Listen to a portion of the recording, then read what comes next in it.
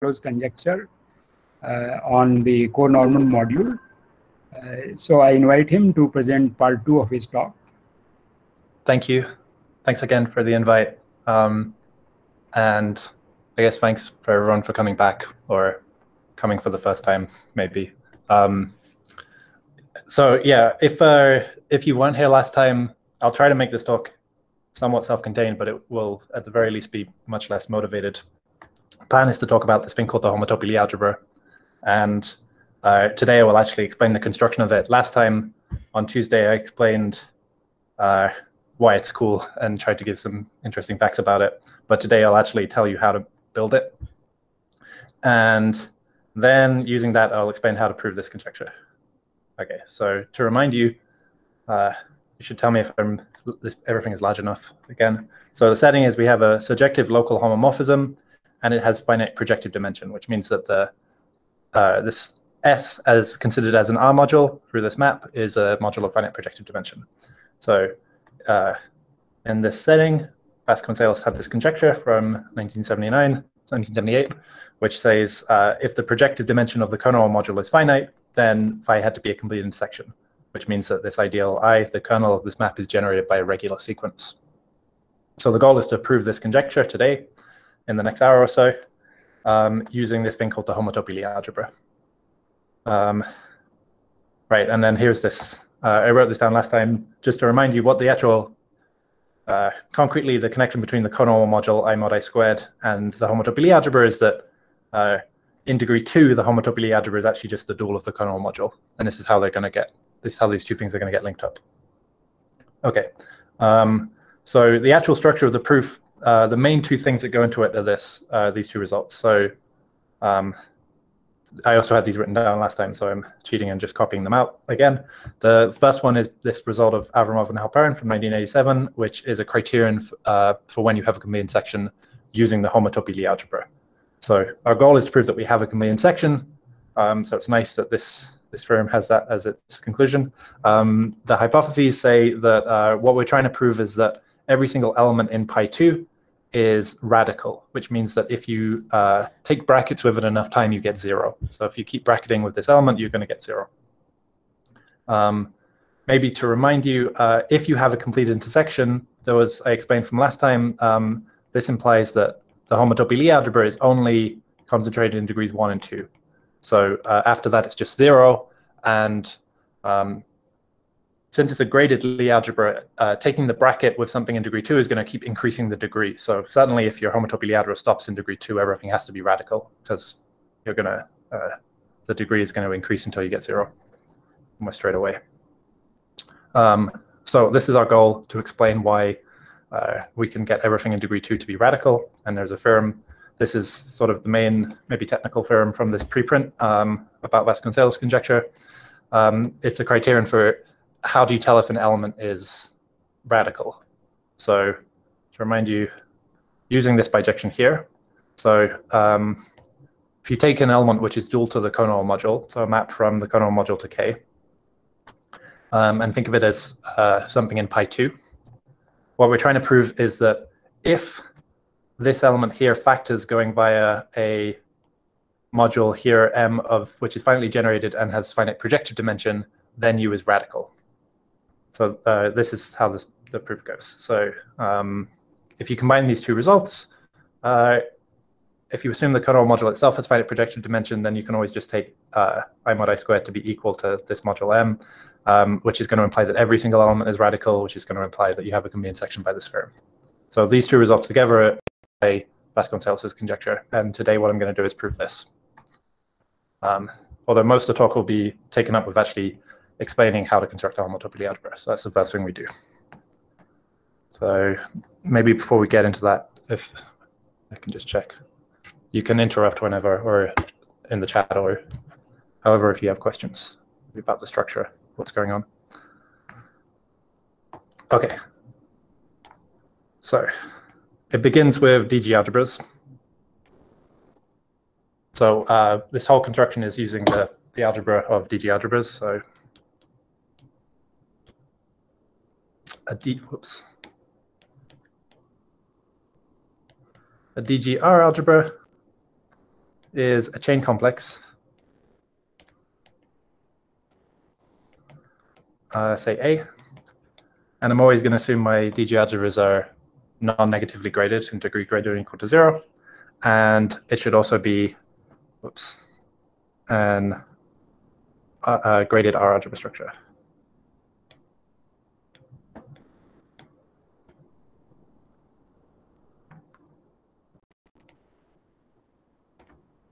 So it's a chain complex which is simultaneously graded R algebra. And um, the way in which these two structures has to be compatible is that this multiplication map has to be a chain map.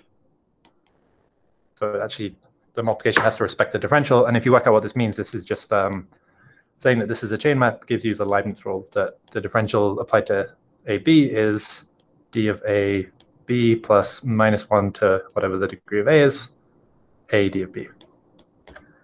Okay, so this is the structure which we're going to be working with for most of the today's talk.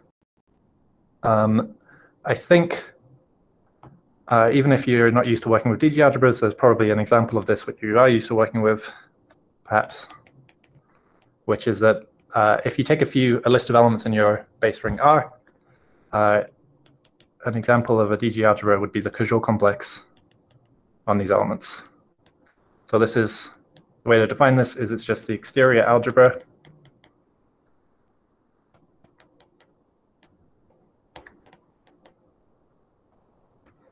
on some generators uh, xi, all having degree 1, and the boundary of these elements uh, xi is the boundary of xi is the corresponding fi.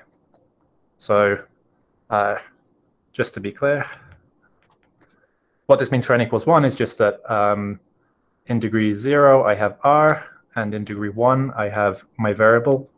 And because it's an exterior algebra, x1 squared is zero, so I have nothing more than that. And the differential here takes x1 to f1, so it looks sort of like that. And for n equals 2, I'm going to have two variables, and the differential of x1 is f1 and the differential of x2 is f2. So it looks sort of like this in degrees 0 and 1. But now since I have an exterior algebra, I also have x1 times x2. Um, so, and that lives in degree 2 now. And I have nothing more than that. That's, uh, that's what the full exterior algebra looks like. And so the reason that here I've only told you what the differential does on these variables xi is because it's determined by the Leibniz rule. So we can work out what d of x1 times x2 is. That is d of x1, x2 minus x1 d of x2. If you use the Leibniz rule, so that's f1 x2 minus f2 x1. So uh, if I draw this in on this picture, then that would be minus f2 here and f1 here. So this is what the Koszul complex looks like on two generators, and then it continues uh, in general for size n, it's sort of it's a free module of rank two to the n, and there's some differential determined by what the Leibniz rule does, sort of like this, with various signs in various places. Okay, so this is an example of a DG algebra. A very nice example of a DG algebra. Um, and in fact, this will come up a lot more in a minute. Um, but we now need some more definitions for now. So more definitions. Um, the next definition is about what kind of DG algebras we, what specifically kind of DG algebras we want to use. We want to use our DG algebras to give resolutions. So we want to do kind of free resolutions, but free DG algebra resolutions. So I, am going to tell you what a free DG algebra is for us, and like the kind which is uh, the sort of the kind which we want for our resolutions. So uh, first thing that goes into that is uh, I'd start with a set of variables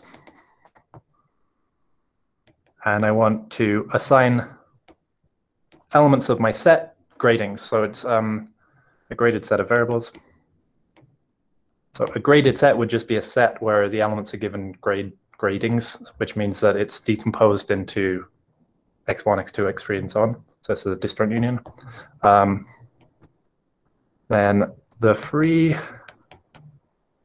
strictly graded commutative R algebra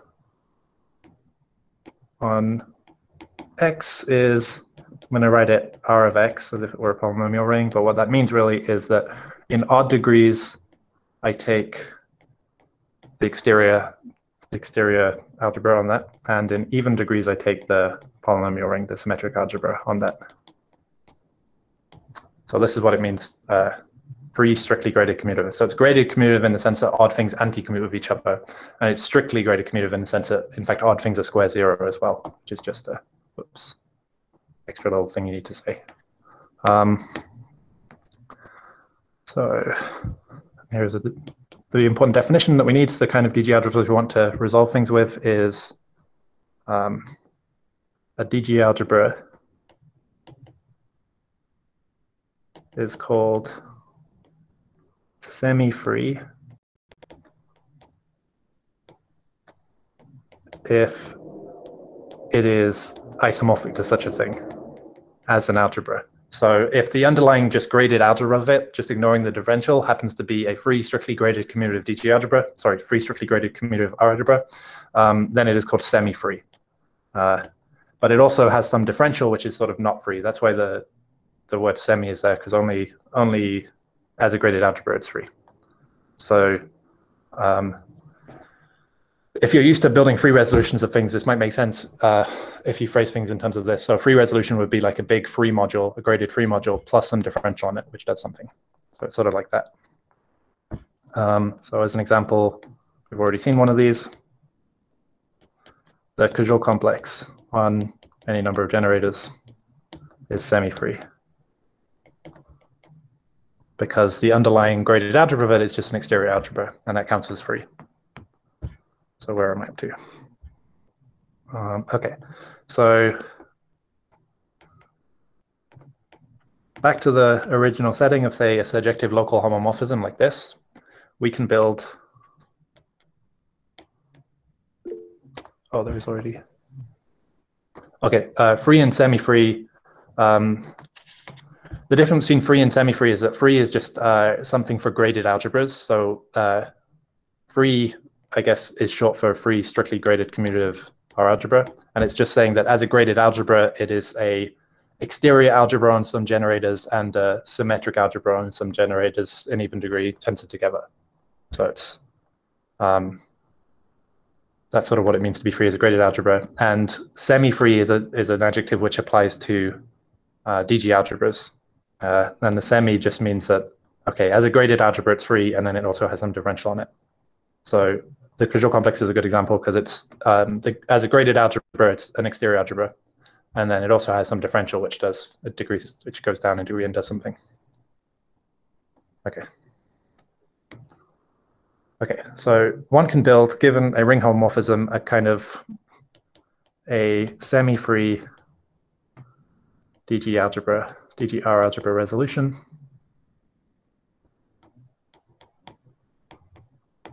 of S. So i.e. what this means is we're going to build uh, A is a semi-free DGR algebra. And it's going to come with a, so maybe I'll uh, sneak some extra, uh, so it's going to come with a map to S. And it's going to be the case that this map induces an isomorphism, so like this. So what this means is A is a complex in particular, uh, so we can think of it as like potentially a resolution. Um, we can take its homology groups into the complex, and if I want it to be a resolution of S, that means I want it to be exact in positive degrees. So the homology is just zero in positive degrees, and in degree zero, it just gives me S.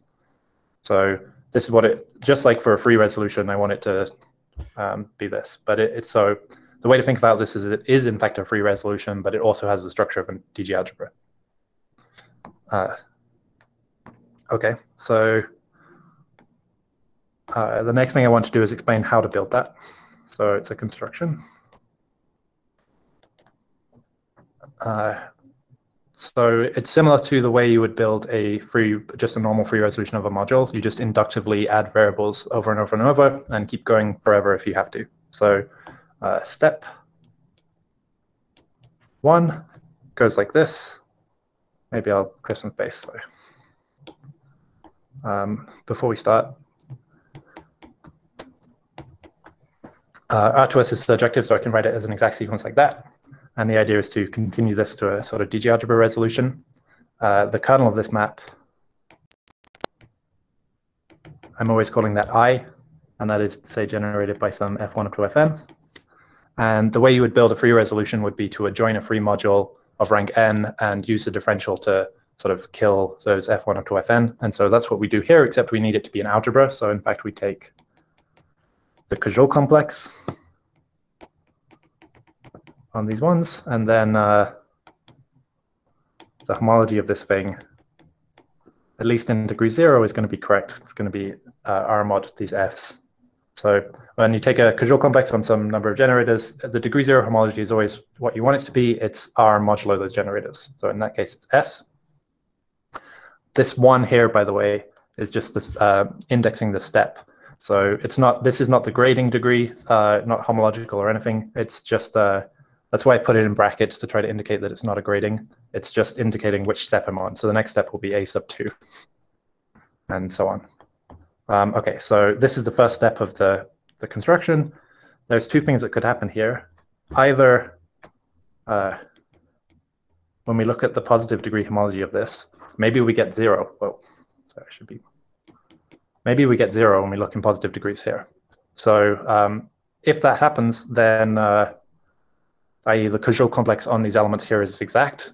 That's the same as saying, sorry, sorry if uh, this is annoying to look at. I keep tapping it accidentally. Um, this is the same as saying that uh, these f's form a regular sequence, uh, which is the same as saying phi is complete intersection. Okay, so uh, in this case, we're done.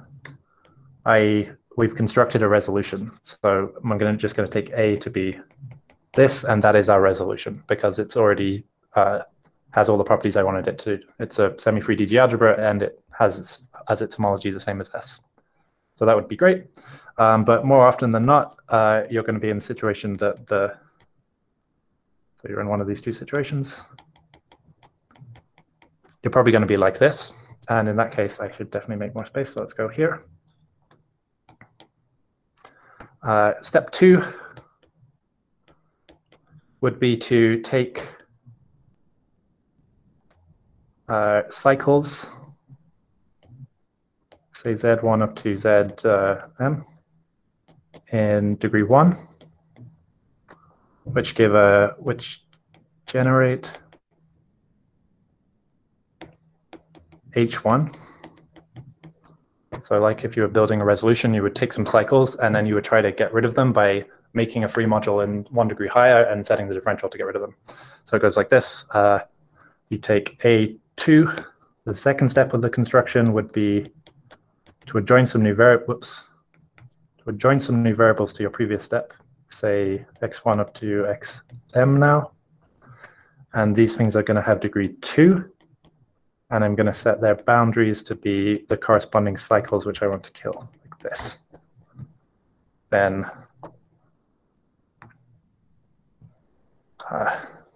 so uh, this has the desired effect that now these cycles here become zero in the homology here because they've become boundaries. So um, it's very much like building a free resolution, except every time you adjoin some variables, uh, you have to adjoin all of their products and all of their powers and everything, a whole lot of things behind it. So even though we've only got to the second step, this thing now is an infinite complex, which is going on forever because these are polynomial variables. In degree two, um, my variables have to be polynomial, which means all of their powers are non-zero and stuff like that, which means this is already infinite. So it's not very efficient if you want a small resolution, but this is necessary when we if we want a DG a nice free DG algebra resolution. So just like building a resolution, except you also have to join all your products and stuff like that. Step N. So anyway, uh, you continue this construction to step N, say, where the nth step would be another semi-free DG algebra where I've adjoined variables up to degree n, and it also has some differential on it. Um, and then you probably will have to go on forever in which case step infinity was what we'll call A. That's our desired resolution, and that's just the union of all the ans.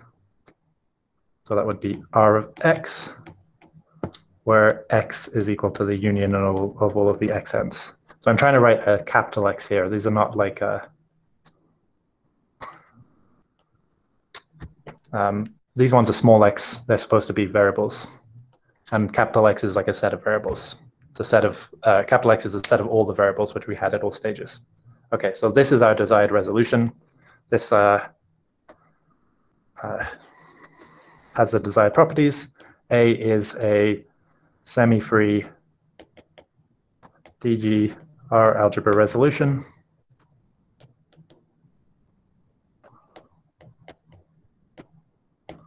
of S by construction, and I've left a little space there because I also want to point out that it's local, which might seem like a weird thing to put here, but this is actually going to be very important. Um, it is a local DG algebra in the sense that it has exactly one graded maximal ideal, and the graded maximal ideal of it is uh, in degree zero, A is A agrees with R, and so it has the maximal ideal of R there, and it also has all these variables. So say x1, x2, x3, and so on forever. Um, so it has this maximum ideal, and that's its unique maximum ideal. So it is local, but it's um, not Noetherian. This is an infinitely generated ideal, uh, which will be pertinent later. Um, okay, so we've managed to construct this thing, and I don't know, the main thing to take away is that it's an inductive kind of construction, which is similar to just how you would build a normal free resolution, but you have to remember to join products at each stage. Okay, um, here's a theorem of Avramov, um, which tells you something about uh, the form of this thing when you build it. So if uh, at each stage you choose these cycles generating homology to be minimal generators of, say, your homology at the corresponding stage. I don't know, say like this. Uh, then, so I, if as long as you do this minimally, which is a very reasonable thing to do, why wouldn't you do that? So uh, you try to make A as small as possible. You join in as few variables as you can at every step. Um, then, like the in local commutative algebra, you have this characterization of what a minimal resolution is in terms of the maximum ideal. There's a corresponding thing here. Uh, this is, in fact, is equivalent to saying that the differential satisfies this thing in terms of this maximum ideal. That uh, the differential of anything lands inside m squared, the maximum ideal squared. So, i.e., boundaries are always decomposable which means they can be written as a sum of products of things from the maximum ideal. Okay, uh, so having done this, A is called, uh, the most common word in commutative algebra for a resolution of this form, a minimal one, is called a minimal model. Say a minimal model for uh, for S over R or a minimal model for phi is not the same as the minimal model in algebraic geometry this phrase minimal model is kind of overused.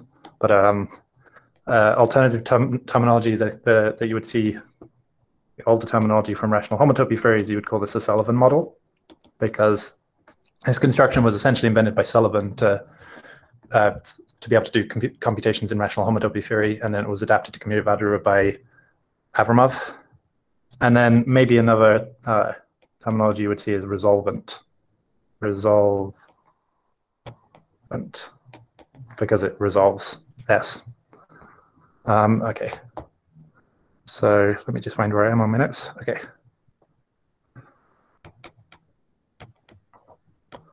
So finally, I can tell you how, how to build the homotopy algebra. Let's see, the construction is a bit involved, but it, um, the thing you need to know about is how to resolve by a DG algebra. So you start with uh, from R to S say a surjective local homomorphism. We're going to build uh, a minimal model.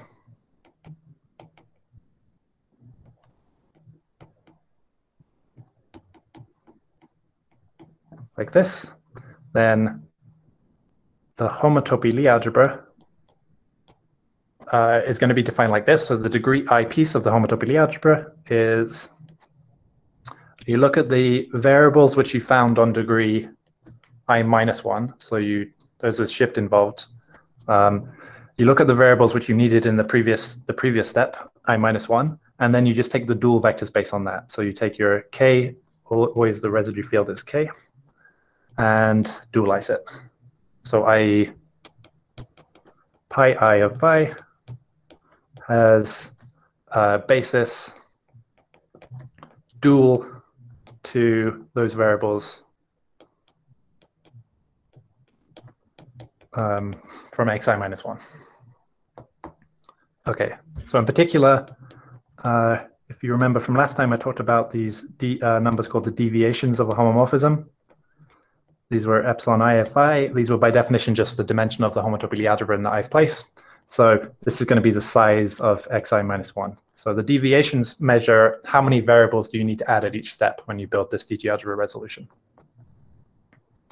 I should say, um, I should probably have, uh, maybe as part of this, uh, a consequence of this theorem is that this is unique up to isomorphism. Got to write that in. So uh, minimal models are actually unique up to isomorphism, just like minimal free resolutions. So all of this is totally well defined.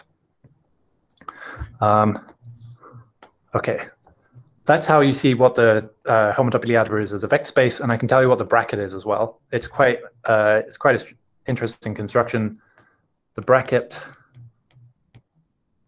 is encoded by the differential by d it looks like this.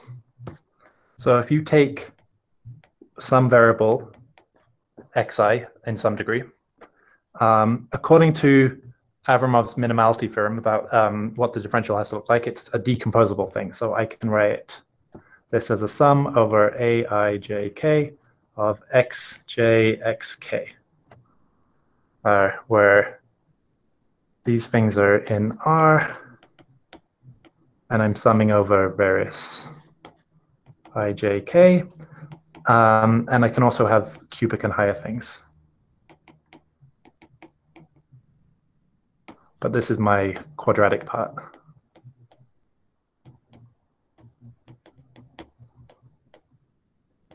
And I also should be more careful since I have MR, since the maximum ideal of A also involves the maximum ideal of R, there's stuff from the maximum ideal of R which I'm going to ignore as well. So stuff which is cubic in the variables and higher, we ignore, and stuff which comes from which has coefficients in the maximum ideal, we also ignore that. What I'm interested here is just the quadratic part of the differential, which involves products of two things from the variables. And here, this is some coefficients, which we'll take modulo. Oops. Okay. Okay then we get the formula for the bracket by sort of dualizing this formula. So the bracket of j and k, uh, xj and xk dual. So my variables are dual to my elements of homotopy algebra. This is the sum over all the corresponding ij and k of all of the aijk that I get uh, and x idle. Okay, and I should put a bar over here because I'm considering this in k.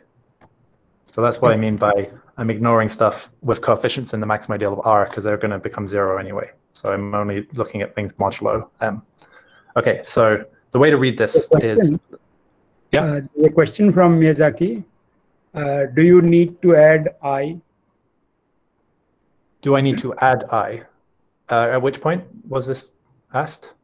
Here? Uh, yeah, I think so. Do I need to add i? Is this because of the degree you mean? Uh, Miyazaki, can you ask can you ask your question, Miyazaki? What what what is I? Uh, Here I, I in the letters. Yes, yes. So I is fixed. Uh, I is just some index here. Um, so so I is fixed. So you don't need to uh, Oh, add up I. Thank you for that, Just yeah. J and K. thank you, thank you. Yeah, that's correct. Whoops. All right, that's correct. Yeah, so I should have only summed over here. And again, here I made the same mistake. Um, here I kind of do a re- the reverse sum and sum over the j and, uh, sorry, here I do sum over the i. I sum over all i for which these occur. So one thing which is going on in this sum is to point out that uh, for a given i or for a given j and k, uh, only finitely many of these ai, j, k are non-zero. So this sum here is finite and this sum here is finite. Um, there's really a dualization going on here because the differential is sort of going from x here to x squared here. It's taking variables and giving me products of variables. And the idea is the bracket dualizes it and gives me taking two variables to just one variable once I dualize. So the bracket is actually the dual of this map. That's what this means when you unravel this structure constant definition. So you can define the bracket in this way. Um, and I will, sorry, think it's correct. Oh, and um, I should be much more careful. There's a sign involved to make this work properly. I have in my notes. It's a minus, whoops, times minus one to the j plus one. Sorry about that. Okay. So uh, one can define the bracket like this, and I'll give a better, I'll give a sort of more coordinate-free definition of it in a second, or a proposition which explains it. Um, so I'll just write down a theorem. Uh, the theorem is that having made this definition with this seemingly strange definition of a bracket,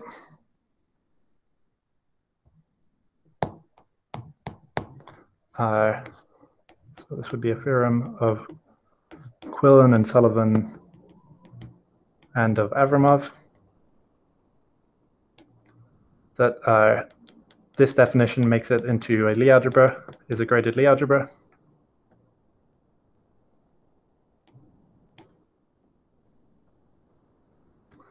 And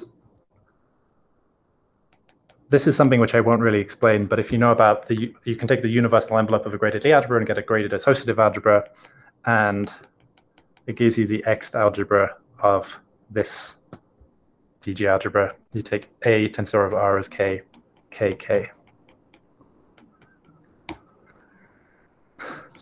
Um, so Then there is a question, Raghavan, uh, why, why the bracket is alternating? Oh, that's quite nice. So, um, yeah, the fact that there are sort of three things to check. Maybe the fact that the degrees match up is kind of interesting. That's there. Remember, there was a shift here.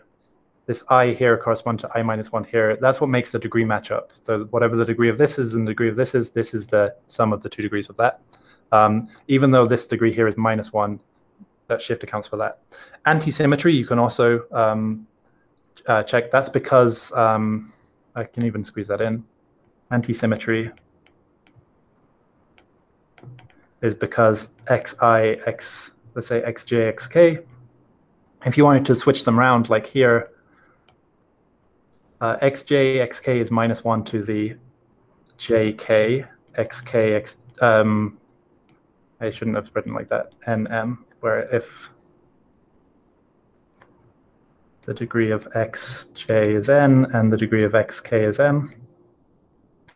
So when you switch two variables, uh, a sign appears like this because it's graded commutative. But um, because there is a shift involved in the homotopy Lie algebra, this has degree n minus 1 and m minus 1. So uh, when you work out what the signs happen, what happens to the sign when you include that difference, uh, you minus 1 to the n minus 1 times m minus 1 is the negative of this. So uh, if you rewrite this with the new gradings, which come from shifting, then you get a minus sign in front. So that's just something to check. The fact that, um, yeah, the fact that the A itself, the DG algebra resolution, is graded commutative means that when you do the shifting, it becomes uh, graded anti-commutative instead. So I'm trying to Okay. And there's a one more thing to check would be the Jacobi identity, and that's truly kind of a miracle. It just is a difficult computation that turns out to be true. So that would be all of this kind of goes back to things uh, from Quillen at the beginning of rational homotopy theory, and this approach is due to Sullivan, who would have first checked that this is a, who would have first observed that the Jacobi identity comes up like this, and uh, it was Avramov who imported this to commutative algebra, and in particular Avramov who would have made the positive characteristic version of this work to get an actual graded Lie algebra with the Jacobi identity. Okay, so next thing, where am I up to? Let's start a new page. The rest of the proof is actually going to be phrased in terms of derivations. So a derivation, uh, say theta, which goes from my DG algebra to some B, uh, is an R linear map of some degree i, and it should satisfy, sorry, every time I touch it, it does that. Uh, the differential, whoops, sorry, the theta applied to AB is theta of A times B plus minus 1 to whatever the degree of A is multiplied by I, A theta of B. So it's another, the Leibniz rule showing up again, but with the correct grading, the correct signs for the grading. Uh, and the important thing about then there is a comment from uh, Nazib. Oh yeah, so um, super Lie algebra is, is correct. Um, this is just another. Uh, in some areas, you would call this a graded Lie algebra, and in some areas, you would call this a super Lie algebra. So yeah, um, what what I mean is exactly what you mean by super Lie algebra. That it satisfies the, it's anti, it's graded anti-symmetric and satisfies the grade the graded Jacobi identity. Correct. Um, okay, so since my DG algebra is semi-free, uh, any derivation any derivation like this, which comes out of A, is uniquely determined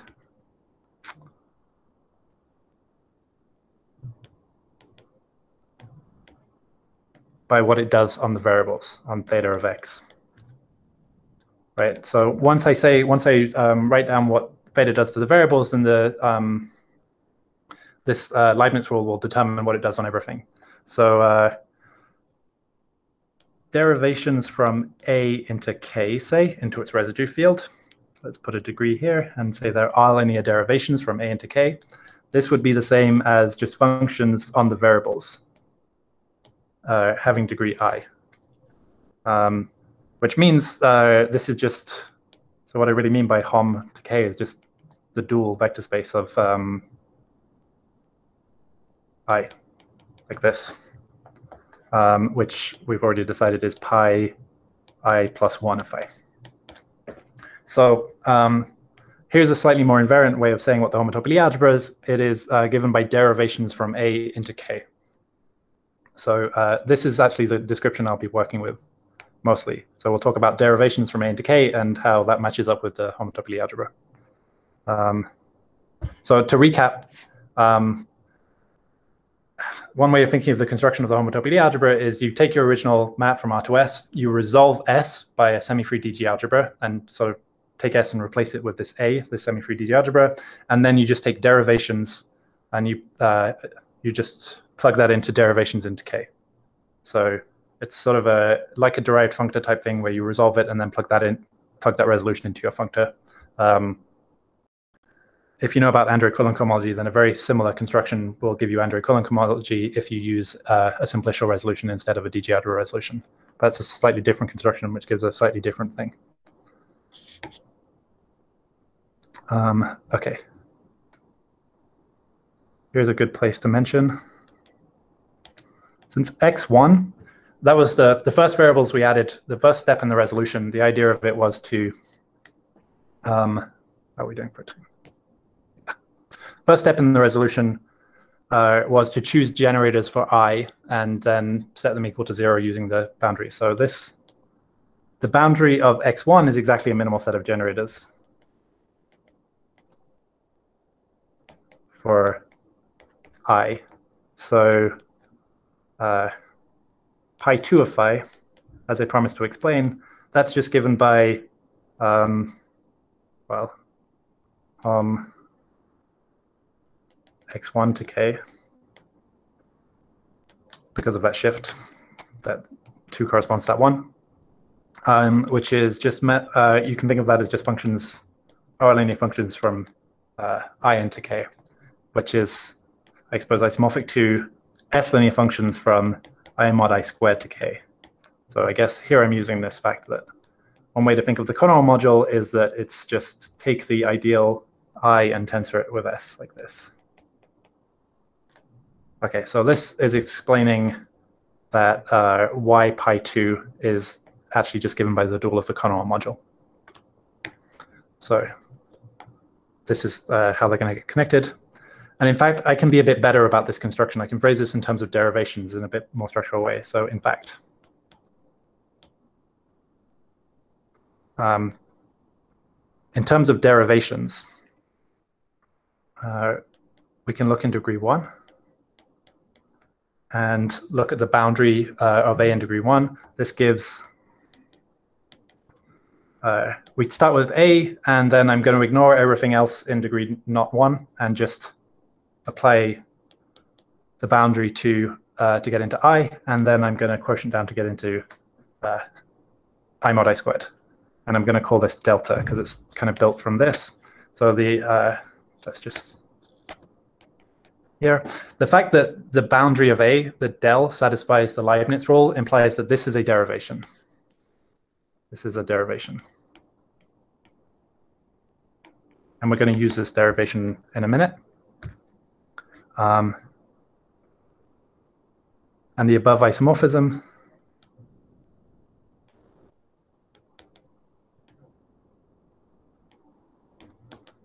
is given by So pi 2, we're going to think of that as derivations of degree 1 from a into k. And hom s i mod i squared to k. These are supposed to be isomorphic, and the isomorphism is just if I have a u here, then I just send this over to uh, the derivation which first does delta and then does this u. So that's a derivation as well. Okay, so this isomorphism, we can think of it as given by uh, precomposing with this delta. Um, and for some of you, this may be reminiscent of the formula for Kähler differentials. And that sort of is what, what's going on here. I mod I squared is secretly a kind of higher module of Kähler differentials. A sort of degree one Kähler differential thing is happening. Um, So we need one more ingredient.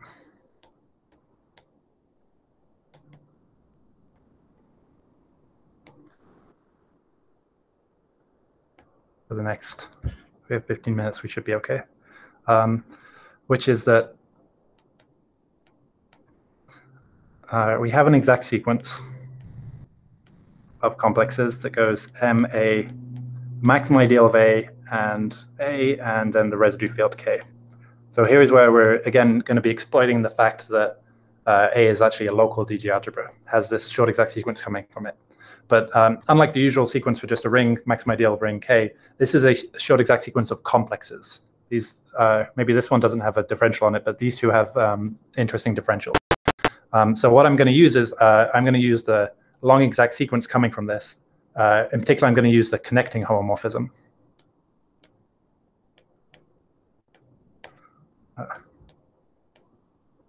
we get from this a connecting homomorphism when we plug in derivations that goes derivations from A into K. Uh, so derivations from A into K, just like the uh, connecting homomorphism for X, there's one for derivations, uh, which is going to start here and then increase the degree and give us derivations into M. So let's say if I put I minus 1 here, it gives us a degree I derivation from A into the maximum ideal. So like this. And the point is here, that's, sorry for squeezing, but that's pi i of phi. So an interesting thing happened here is that I is now the same degree here. And if I take an element inside the homotopy Lie algebra, my notation for this is going to be u goes to theta of u, theta sub u. So, okay.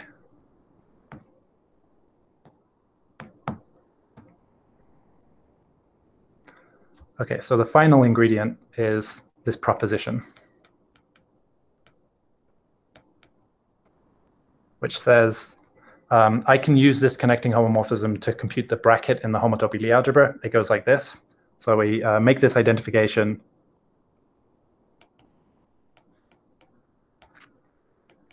The homotopy Lie algebra, we think of this as given by uh, choose a semi-free, minimal semi-free DG algebra resolution and take derivations into K.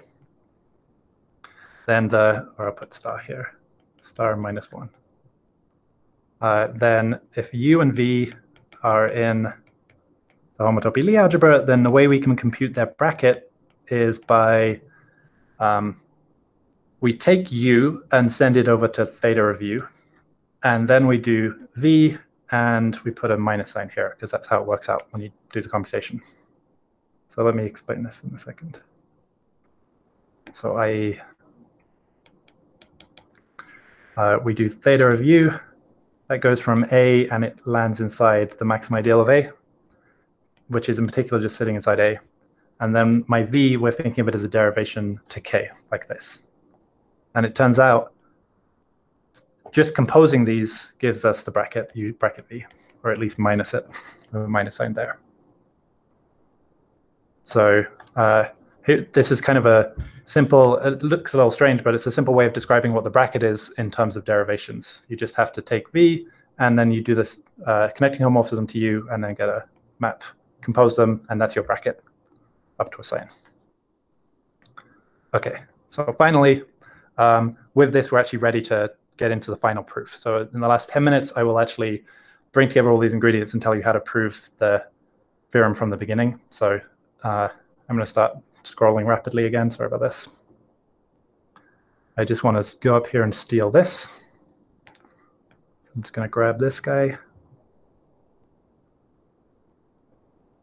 I'm going to copy that.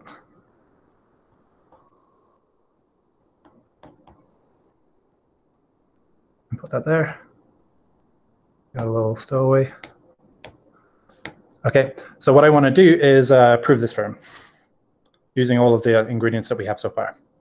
So the idea is um, what we're going to prove now that we have this description of bracketing with U. So remember what we're trying to do, I guess, now that we know that U is radical, we're trying to show that bracketing with U is nilpotent. Um, but now we know that bracketing with U is given by this theta type construction. Oops. Uh, so what we're actually going to prove is that this theta u thing acts nilpotently.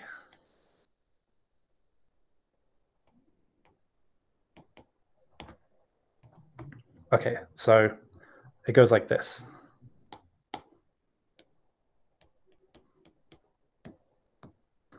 Uh, there are two steps to the proof, and step one, uh, I'm going to be slightly hand wavy about, and step two, I'll get will be more concrete. Step one is just using some uh, facts about how connecting homomorphisms work, which is um, really just using the snake lemma. So um, this part, once or you once you know all the background theory, uh, you just use the snake lemma and check that everything is compatible, and so it will be. It's not the hardest step, um, but what it involves, which is why I, I'm not going to explain it fully, is uh, we're going to take a resolution of M. So when you apply the snake lemma, you need your uh, complex in the middle of the thing to be uh, sort of a projective complex in order to be able to do the lifting up thing in the snake lemma. So I need a resolution of it. But this is an A module resolution. So let's say a resolution over A. And okay, so what does this mean? Um, P is in particular a complex, but I don't want it to be a complex of A modules because that would make it a complex of complexes. So that's not the correct way to say what a complex is over a DG algebra. The correct way to say what a complex is over a DG algebra is, i.e., P is a complex, uh, and it has a A module structure. A tensor with P to P. And the correct compatibility condition is that this is a chain map. Um, so this is what's called a DG module. If you want to read about DG modules, then I think a nice reference to that is the this paper called The Homology of Perfect Complexes by Avramov, Buchweitz, Iyengar, and Miller, uh, which has all the background you need to be able to do that, in particular to be able to just run the snake lemma with those. But uh, okay, so I have such a thing. I have this thing called a DG module over A, uh, and it's going to be a resolution of M in the sense that it is a uh, P is a free A module. Um, so the underlying just graded module of it is actually free as an A module. And we can do better than that um, because, so here's the whole point really. I'm assuming M has finite projective dimension. It's finitely generated finite projective dimension. So that would mean that if I resolved it over S, so maybe I should have specified in here. So that's over S. Uh, I mean, if I resolved it over S, I would just have a finite free S module plus like uh, the complex would be finite and it would be of finite free S modules. Um, if I want to do this over A, the corresponding thing is that um, when I resolve M of uh, over A, this is going to be, which is free. Oh, I've already said it's free. So it's a free A module of finite rank. So this is another thing that you would find explained in this paper about uh, homology of perfect complexes. Just um, why, uh, starting from assuming that it has finite projective dimension over S, and because A is a resolution of S, that also it, it implies that it has finite projective dimension over A in the sense that it has a resolution which is a finite free A module. Okay. Whoops. So I know I'm being a little vague, but I'll tell you what I need from this the setup really that I need is that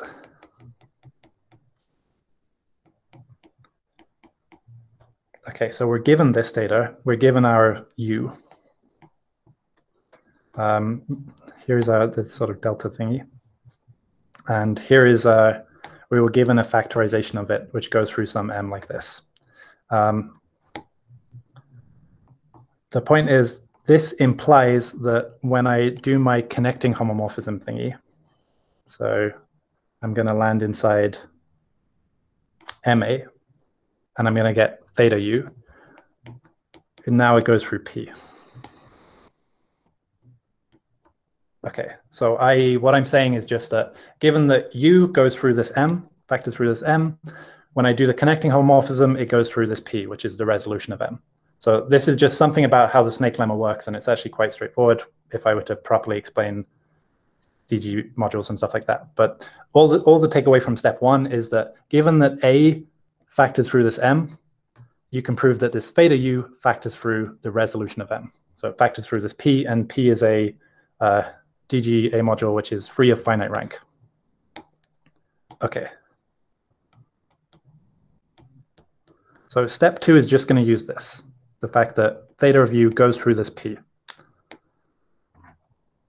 Okay, uh, the proof of this is quite nice, and I'll do this properly. We have five minutes, so I can hopefully do this properly.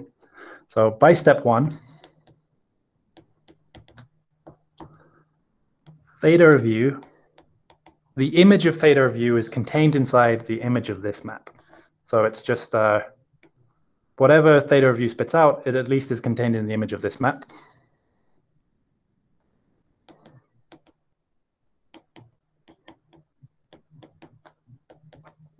Okay. Uh, the key point of this is that even though MA is an infinitely generated ideal that involves infinitely many variables, this P here is a finite free A module. So this image can only involve finitely many variables. So I can just check where do the where do the generators of this finite free module go? And each of them only involves finitely many variables. So I can say this is definitely contained in an ideal involving only finitely many of the variables in some degrees. They could be in various degrees, but they're, the degrees are going to be bounded anyway because there's only finitely many of them. So this lands in a finitely generated ideal. And this is really the whole point. All we needed really was something. This is all we're going to take away from it is that um, because of this, this theta u lands inside a finitely generated ideal. So the whole problem was that MA is infinitely generated, involves all these variables, but theta u now, given these hypotheses, lands in a finitely generated ideal. Okay, so the key trick now is that if I start iterating, say by some power m, this is going to land in the same finitely generated ideal. But now the degree of this, so remember, let's try to remember. The degree of this thing is 2. I'm always talking about pi 2, so we're landing in, we have something, some derivation of degree 2.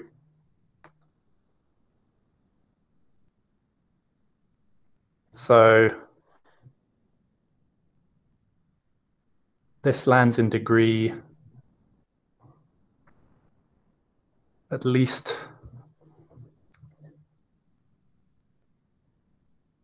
uh, 2m. Uh, I think I need to rephrase this.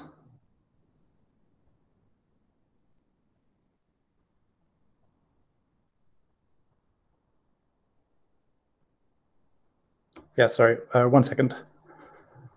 So, no, no, it's,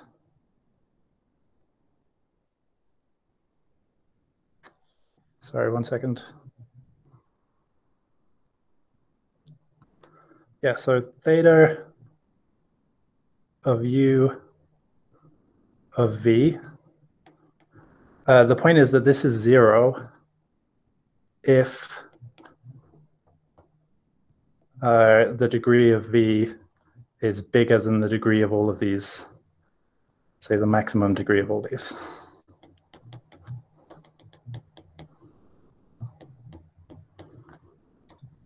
So this is because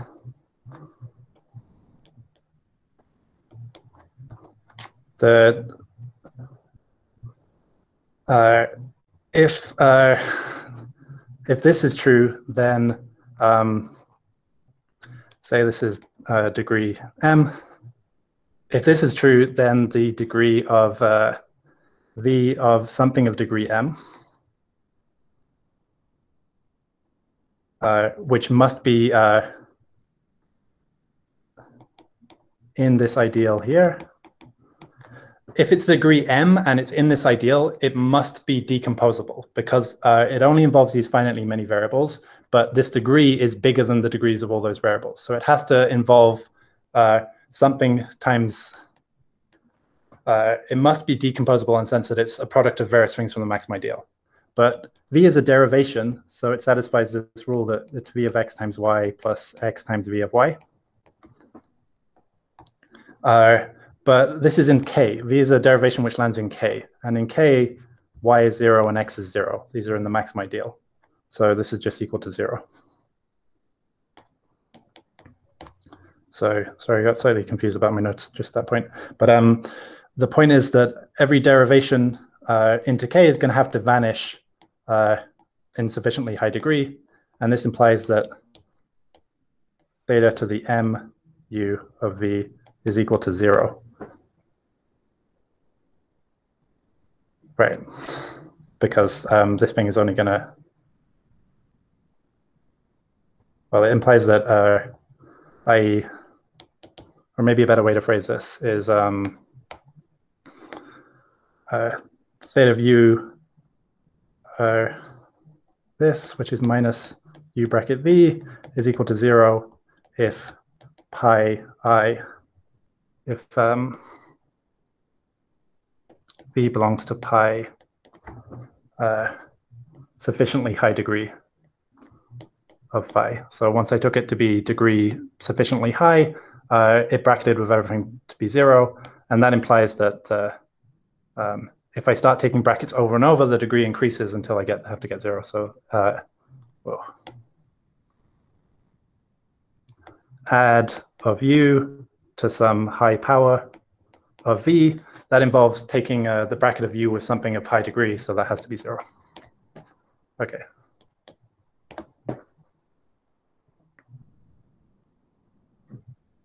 Right, so um, in the end, the point was, since I landed in a finitely generated ideal, uh, every derivation has to uh, every der derivation of sufficiently high degree has to vanish on it. Okay. Uh, cool. Any questions? Okay, so thank you, Brian. Uh, ben, uh, we we invite questions. People can uh, open their mic and ask questions.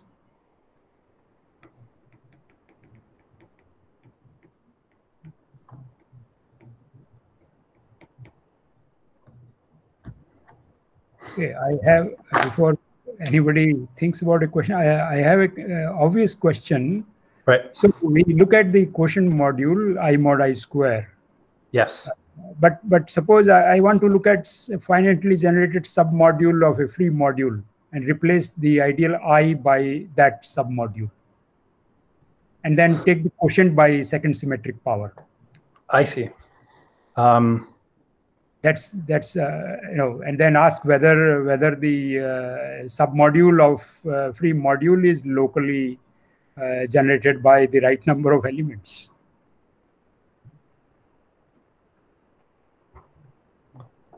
And one can talk about the quotient module being projective. yeah. So instead of I, you have a I don't know. I told a sitting inside a free R module N. I'm confused about what is the the role of S. S would be uh, something. Yeah, I, I see what you mean. There's some question here, but I'm not en- entirely sure what the statement Yeah. would be. at least in local algebra, whenever we have an ideal contained in a ring, then uh, we uh, uh, this is not enough for many applications to algebraic geometry, where we do come across submodules of free modules and uh, corresponding analogs.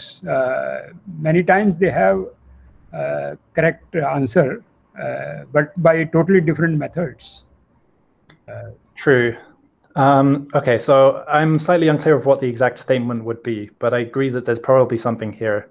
And then um, I, I- one would guess, one would hope that the same proof might work for that, but I don't know. The, no, no, I mean it may not work because at Yeah, least from whatever uh, experience I have about uh, multiplicity theory, um, totally different methods have to be applied when we deal with symmetric powers and uh, these things. And, but many times, uh, really good analogs of the results are useful. Uh, right.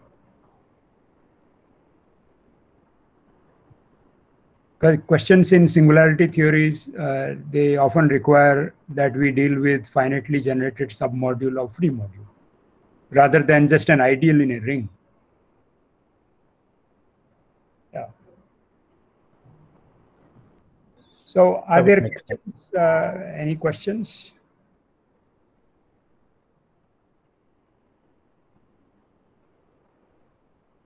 Okay, I, I don't see questions, which means everything is clear, uh, what Ben said. Uh, it is, uh, of course, fantastic piece of algebra. Ben, thank you very much for coming to this seminar. And Thanks for really invite. Yeah, it's, uh, yeah. So thanks, thanks a lot. Okay. And we hope to see you again.